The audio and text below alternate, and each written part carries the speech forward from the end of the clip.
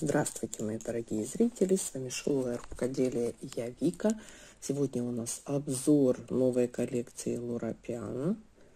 А, интересная коллекция, очень много как бы всего интересного, но я сделала подборку именно тех вещей, которые нам интересны как вязальщицам. Вот первый вот этот вот такой джемпер, понча, накидка, толстовка, как угодно. Интересный узор, но я пока я рассматривала его, но, но пока я не понимаю, как его девчонки сделать. Вот, вот правда.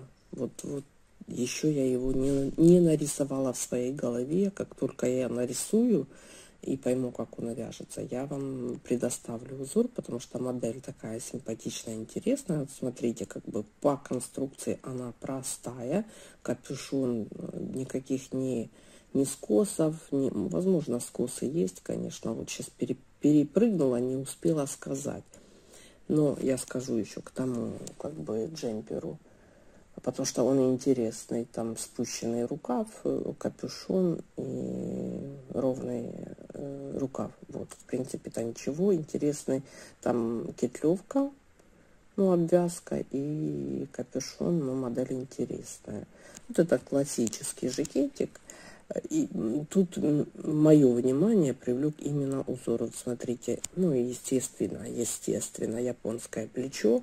Вот все никак я не могу найти формулу расчета универсальную для всех размеров. Понятно, вот мы мужской жакет мы вязали, вот, для вот этого именно полупатентной резинки Э, мои расчеты подходят. Вот я не уверена, что этот расчет подойдет на любую вязку, девчонки. Может, кто вязал именно по моему видео, но менял узор, отзовитесь. Вот, поэтому вот эту модель я убрала. Ой, не успеваю за фотографиями, видите.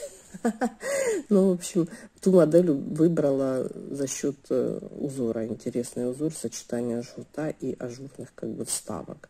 Ну, тут просто классическая толстовка – Э, с принтом. Единственное, что интересно, я думала, это вывязано, но это э, как бы принт приклеенный. Я такое видела уже у Red Valentina, там джемперок связан крючком и сверху принт. Вот здесь вот хорошо видно, что это принт.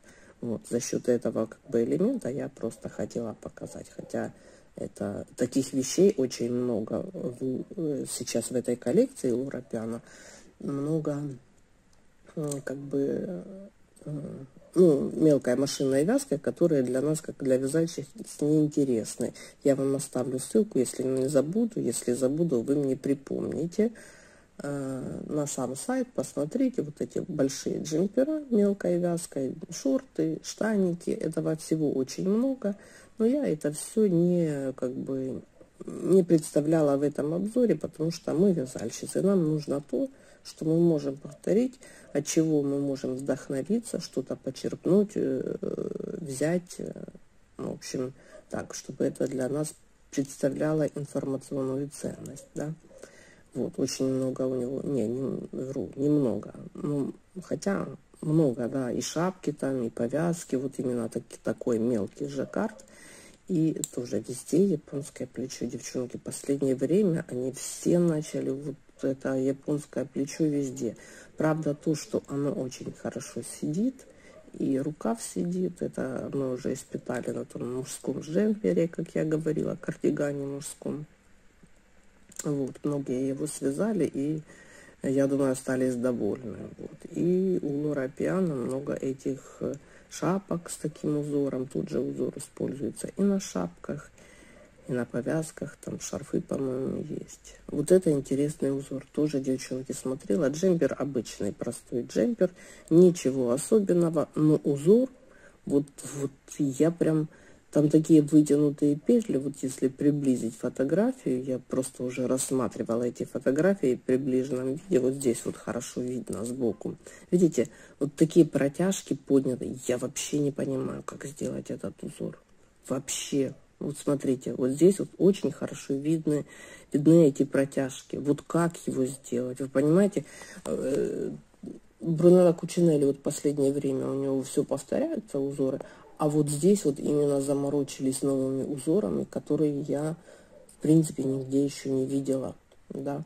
Вот здесь вот, ну, как бы не то, чтобы узор э, новый, может, он и не новый, но вот сочетание с резинкой, эти как бы жгуты, араны, да, они такие хаотичные, своеобразные, вот там вот непонятно, это не просто аран, там бух и вляпанные, а вот именно, вот смотрите, как красиво, да, вот есть и переплетение, и я понимаю, что это как бы заморочливо, но это только передняя деталь, и все, да. А на самом деле, смотрите, смотрите, вот как они все переплетаются. Очень красиво. Мне понравилось, хотя сам крой, э, сама конструкция модели, она совершенно как бы несложная. Ну, классическая, да, точной рукав. Вот, не видно, единственное, что там тоже японское плечо или обычное, ну, что-то такое. Тоже узор интересный. Э, удивили тем Лурапиана, потому что они обычно, обычно у них все в таких пастельных тонах, а в этой коллекции они добавили э, цвета, да, что для них, как бы, как по мне, необычно. Обычно я от них э, ну, не видела таких ярких, как бы, контрастов. Вот, видите, тут тоже цвета добавили и узоров добавили, именно таких, над которыми заморочились, как по мне. Вот здесь вот плохо, конечно, видно, но тоже там скосы, оранчики, косы, вот интересно. Вот эта модель по конструкции мне очень понравилась. Это такая простая рубашка, да, карманы накладные, застежка, но очень интересно смотрится. Смотрите. Спущенный рукав, небольшой окат, разрезики на рукавах, ровная модель ровная. Рубашечный. Тут классический рубашечный крой. Ничего особенного. Ну, кстати, даже манжета нет, просто э, снизу, видите, разрезик. Очень интересно, как э, по мне, просто взять э, модель, саму модель и связать грубыми нитками. Ну, то есть нитками толще, я думаю, будет, будет вполне себе интересно. Вот, шапка тем же узором, кстати, которым был второй кардиганчик. Вот сейчас плохо видно, но там ажурные вверху полосы. А может на шапке даже их и нету. Я что-то здесь не вижу, вы знаете, ажурных полосочек. Ну, не нравится мне, как они сидят, вот эти лурапиано. Я вязала одну шапку, сейчас фотография, она повторяется здесь, в этой коллекции, с прошлой коллекции. Вот это у меня есть мастер-класс на эту шапку, только без помпона. Ну, эти косы у меня есть. Видео, кстати, мало смотрела. Не нравится, вот видите, и тогда я говорила, и сейчас говорю, мне не нравится, как они сидят. Вот, мне кажется, надо чуть больше объема нужно этим шапкам. Вот это прост, простая, ну, как бы классическая. Ну, вот так вот она выглядит. Пышная резинка, я так понимаю, классическая макушка, которая, ну, на четыре части разделена. Вот. И дальше вот по женскому все. Дальше я пару моделей добавила мужских. По женскому все именно потому, что как бы для нас может быть интересно. А вот мужская модель, вот эта вот, мне очень понравилась. Что отмечу, что у Рапиана мужских моделей практически столько же, сколько и женщин. То есть мужчин они не обижают, работают. Вот смотрите, как застежка сделана, интересно оформлена. Вот это меня привлекло как, как бы как квест, который нужно пройти, вот чтобы, ну, повтор... это мне интересно, как бы сделать вот такую застежку. А сам джемпер связан регланом классическим, вот самым классическим, обычным. Ну, интересный воротник, стойка и узор, как бы интегрированный в этот джемпер, тоже только на передней детали. Очень красиво, кстати по итогу, смотрите, очень красиво смотрится. И, наверное, очень интересно с ним заморочиться.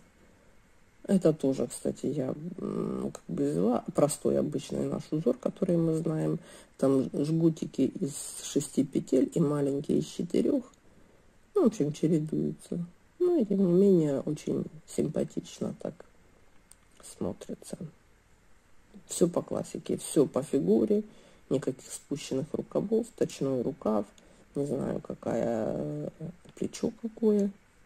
А вот этот, вот смотрите, девчонки, этот мне понравился. Тут как бы казалось бы, что э, он э, ну, обычный, но он необычный. Вот если посмотреть близко, Там вот реглан, вот этот вот широкий. И там цельновязанный вот такой вот воротник без... Вот смотрите, смотрите, как интересно выполнен воротник. Реглан переходит прямо в эту стойку. Очень-очень симпатично, мне очень понравилось. И, кстати, женский вот такой вот джемпер – Э, очень бы смотрелся, я думаю, и женский, и мужской. То есть его можно сделать женским, вот этот вот оверсайз, и мужской. Очень интересная вот эта вот модель. Казалось бы, простая, на самом деле она очень там, очень-очень продумана. Тут я вам узорчик хотела показать, тут ничего особенного. Сам узор вот этот интересный впереди. В принципе, больше там, по-моему, ничего такого интересного и не было. Вот этот джемпер меня как бы вдохновил. И первый свитер, там застежка очень интересная, и узор этот на передней детали. Тут вот тоже такой, ну, в принципе, это известный узор, ничего особенного. Вот. Ну, в принципе, там еще будет это тоже. Это я зачем? Это тот же кардиган, который мы вязали, вот только чулочной гладью и добавлены карманы. Я имею в виду тот, который мы от Кучинелли вязали. А нет, ошибочка. Тут не японское плечо. Тут классическое плечо и классический рукав, да, девчонки. Но это та классика, которая, она будет всегда. Тут, вот тут вне возраста и вне моды. Я считаю, вот такие вот модели, это те, которые будут всегда вот чистая классика, да. И вот эта модель именно из этой категории. Ну и все, наш обзорчик подходит к концу. Вот этот же жаккард, мелкий жаккард использован и в мужских э, вещах.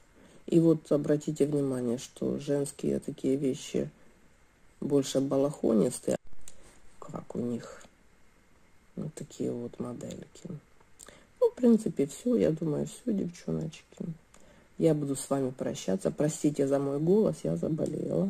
Вот, поэтому голос чуть-чуть, ну, он у меня и так грубый, а сейчас еще грубее. Вот такой вот обзорчик, девчонки, у нас сегодня. Вот. Может, вас на что-то вдохновит, пару узоров я попробую все-таки с первым вот этот вот вот не дают мне покоя. Первая модель женская и первая мужская. Ну все, девчонки. Я с вами прощаюсь. С вами была Вика. Всем пока-пока.